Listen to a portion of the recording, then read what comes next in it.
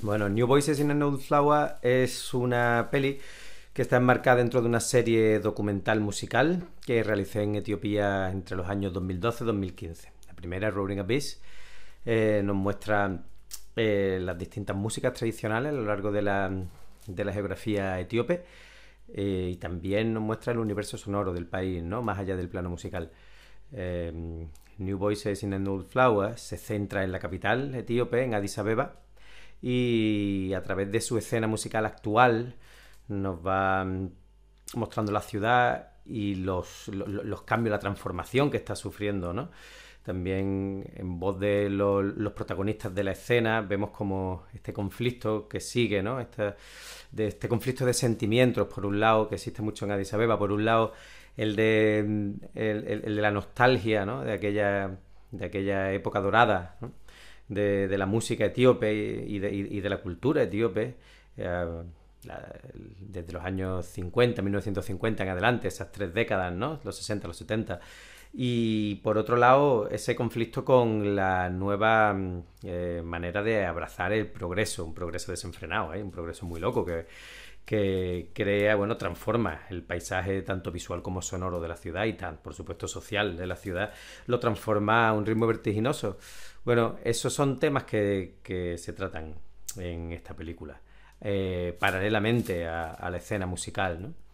Mm, hablando de esa época, ¿no? De la nostalgia, eh, pone en contexto un poco en Etiopía con el reinado o el gobierno del mandato de Haile Selassie, eh, los años, desde los años 50, 60 aproximadamente, Em, se empezó, empezó a filtrarse muchísima influencia de música negra que venía de los Estados Unidos principalmente.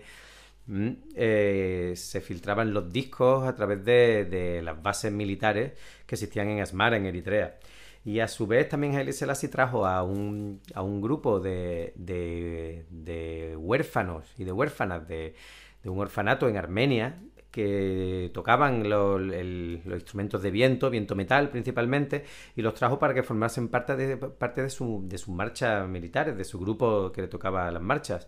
Y claro, entraron de pronto en Addis Abeba un montón de, de, instrumentos de viento que fueron dejándose caer por los ambientes nocturnos de la ciudad y bueno, ahí se fue fraguando todo ese movimiento del swing in Addis, ¿no? Que se conoce el swing in Addis y Elicio Jazz y nombres ahí, la Walias Band o Falemayo ST o Mulatu que bueno, pues nombres que hemos conocido mucha gente a través de, la colección Ethiopix, ¿no?